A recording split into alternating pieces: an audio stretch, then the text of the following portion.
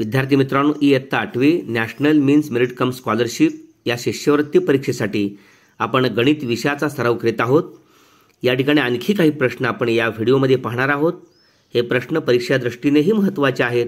अशा प्रश्नांचा आपणही जरूर सराव करावा.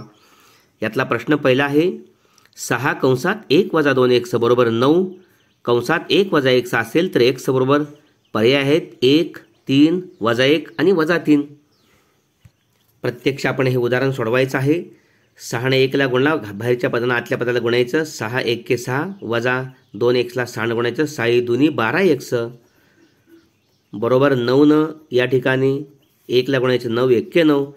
वजा एक्सला नऊनं गुणायचं वजा नऊ एक्स एक्स एक्स एका बोला घ्यायचे. हा वजा बारा एक्स उजवीकडला वजा नऊ एक्स डावीकडे आल्यानंतर अधिक नऊ एक्स बरोबर उजवीकडं नऊ आहे. आणि हा डावीकडचा अधिक सहा पलीकडे जाऊन वजा सहा होणार आहे. वजा बारा एक्स अधिक नऊ एक्स वजा तीन एक्स मोठ्या संख्येतून लहान संख्या वजा करायची. आलेला वजा बाकीला मोठ्या संख्येचं चिन्ह द्यायचं. नऊमधून सहा गेले तीन उरले. या ठिकाणी दोन्ही बाजूला वजा तीनने भागले तर या ठिकाणी तीनला तीन भागून एक येणारच. पण वजा चिन्ह असल्यामुळं वजा एक येणार. ओके? या ठिकाणी पर्याय तिसरा आहे. तो वजा एकचा. ओके? हा पर्याय तीन. अचूक पर्याय ओके वजा एक. दुसरा आहे आठ एक्स घन अधिक दहा एक्सचा वर्ग वजा पाच एक्स वजा सात. या बहुपदाला दोन एक्स अधिक एकने भागल्यास भागा बाकी टिंबटिंब उरते वजा आठ वजा तीन अधिक तीन आणि अधिक आठ. या ठिकाणी आपला भाजक दोन एक्स अधिक एक आहे आणि भाज्य आहे आठ एक्स घन अधिक दहा एक्स वर्ग अधिक पाच एक्स वजा सात. आठ एक्स घन. या ठिकाणी भाज्यामधलं पहिलं पद येण्यासाठी दोन एक्सला बेचोक चारनं गुण गुणलं पाहिजे. आठ येण्यासाठी आणि एक्सला एक्स घन येण्यासाठी एक्स वर्गनं गुणलं पाहिजे. चार एक्स भाग आला दोन एक्स गुणले चार एक्स वर्ग म्हणूनच आठ एक्स घन ओके?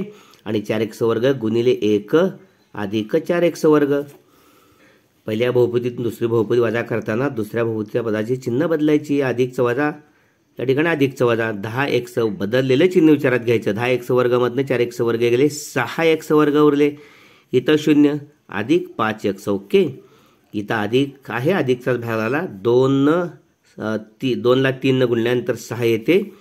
एक्सला एक्सनं गुणल्यानंतर एक्स वर्ग येते. म्हणून दोन एक्स गुणले तीन एक्स सहा एक्स वर्ग आणि तीन एक्स एक्के तीन एक्स ओके सहा एक्स वर्ग अधिक तीन एक्स दोन एक्सनं तीन एक्सला गुणल्यानंतर सहा एक्स वर्ग अधिक तीन एक्स वजाबाग करताना ही दोन्ही चिन्ह वजा होणार. इथं शून्य पाच एक्स मधून तीन एक्स गेले दोन एक्स उरले. ओके वरचे घेतले वजा सात. या ठिकाणी दोन एक्स येण्यासाठी या दोन एक्सला एक न गुणलं पाहिजे अधिक आहे अधिकचा भाग दोन एक्स एक के दोन एक्स. आणि अधिक एक गुणले एक एक. ओके चिन्ह बदलायची.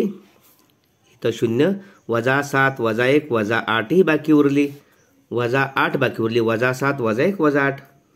तेव्हा हा पहिला पर्याय वजा आठ अचूक आहे. ओके. तिसरा प्रश्न आहे एका वर्तुळाच्या विशाल कंसाचे माप त्याच्या लघुकंसाच्या चौपटीपेक्षा दहा अंशने जास्त आहे. तर त्या लघुकंसाचे माप टिंबटिंब असेल दोनशे ऐंशी सत्तर एकशे दहा आणि नव्वद असे पर्याय आहेत. या ठिकाणी लघुकंसाचे माप आपण एक म्हणूया. विशाल कंसाचे माप त्याच्या चौपटीपेक्षा दहाने जास्त आहे एकशे चौपट चार एकशे आणि अधिक दहा. लघुकंस आणि विशाल कंस मिळून वर्तुळ कंस पूर्ण वर्तुळ तयार होते आणि वर्तुळ कंसाचं माप या ठिकाणी तीनशे साठ असते. म्हणजे एक स अधिक चार एक सहा अधिक दहा बरोबर तीनशे साठ. चार एक आणि एक एक स. पाच एक स अधिक दहा पलीकडे गेला तीनशे साठ वजा दहा. पाच एक्स बरोबर तीनशे साठ म्हणून दहा गेले तीनशे पन्नास. एक्स बरोबर पाचने भोग्या. तीनशे पन्नासला पाचने भागून पाच सत्ते पस्तीस पाच शून्य शून्य. म्हणून या ठिकाणी एक्सची किंमत सत्तर म्हणजे लघुकंसाचे माप सत्तर अंश. ओके?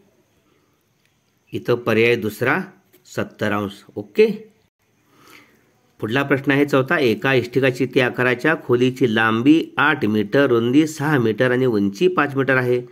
या गोदामात पन्नास सेमी बाजू असलेले किती खोके मावतील पर्याय आहेत बाराशे नव्वद अठ्ठेचाळीस एकोणीसशे वीस एक हजार नऊशे वीस आणि पंचवीस. प्रथमत आपल्याला इष्टिकाची त्या आकाराच्या खोलीचे घनफळ काढलं पाहिजे. लांबी गुणले रुंदी गुणले उंची आठ गुणले सहा गुणले पाच तसंच ठेवा. हा गुणाकार न करता आणि जी खोकी ठेवायची आहे त्या खोक्याची बाजू आहे पन्नास सेंटीमीटर. मग पन्नास सेंटीमीटर या ठिकाणी शंभर सेंटीमीटरचा एक मीटर पन्नास सेंटीमीटरच्या या ठिकाणी अर्धा. हे शून्य शं पन्नासला शंभरनं भागलं पाहिजे. या ठिकाणी शून्य पॉ पाच हे दहा म्हणजे शून्य पॉईंट पाच.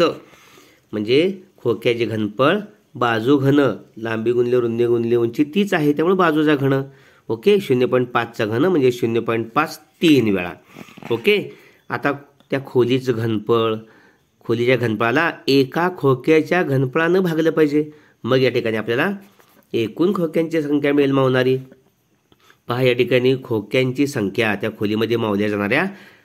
या ठिकाणी खोलीचे घनफळ आठ गुणले सहा गुणले पाच भागिले खोक्याचं घनफळ शून्य पॉईंट पाच गुणले शून्य पॉईंट पाच गुणले शून्य पॉईंट पाच. या ठिकाणी दशांशचिन्ह काढून टाकण्यासाठी द दशांशचिन्ह आता दुसऱ्या ठिकाणी शून्य पॉईंट पाचला ते इथं घेण्यासाठी एक घर उजवीकडे सरकण्यासाठी वरती आठ वर शून्य इथं शून्य पॉईंट पाचचं सरकण्यासाठी सहा वर शून्य इथं शून्य पॉईंट पाचचं सरकण्यासाठी वरच्या पाचवर शून्य. ओके अर्थ न बदलता म्हणजे ऐंशी गुणिले सहा गुणिले साठ गुणिले पन्नास. ओके आठ गुणले सहा गुणले पाच ऐंशी गुणले साठ गुणले पाच. दशांशीनं सरकवलं. ओके. त्यामुळे खाली पाच गुणले पाच गुणले पाच आलं ओके?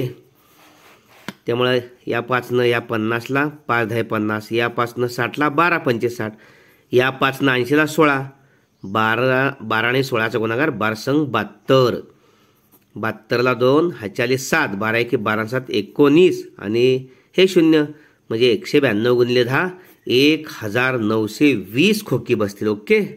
हा तिसरा पर्याय अचूक आहे एक हजार नऊशे ओके? प्रश्न पाचवा आहे दसादसे किती दराने पंचवीस वर्षामध्ये मुदलाच्या दुप्पट व्याज होईल? या ठिकाणी पर्याय दहा आठ चार सोळा. या ठिकाणी सरळ व्याज बरोबर मदक भागिले शंभर मुद्दल गुणिले दर गुणिले कालावधी भागिले शंभर. या ठिकाणी मुदलाच्या दुप्पट व्याज समजा मुद्दल आपण एक्स मानलं तर व्याज दोन एक्स होईल. ओके? या ठिकाणी मुद्दल यक्ष गुणिले दर गुणिले कालावधी पंचवीस भागिले शंभर पंचवीस एके पंचवीस चोक शंभर. हे भागिले चार आहे ते दोनला गुणिले आठ एक्स. या ठिकाणी आठ हा दर आपल्याला काढायचा द काढायचा आहे. त्यामुळं हे मुद्दल आहे. भागिले चार इकडे दोन एक्स हे मुद व्याज आहे. त्यामुळे चार दोन्ही आठ एक्स हा जो आठ आहे म्हणजे दसा दसे आठ दर ठेवला पाहिजे. म्हणजेच या ठिकाणी पंचवीस वर्षामध्ये मुदलाच्या दुप्पट व्याज मिळेल. हा दुसरा पर्याय अचूक आहे ओके?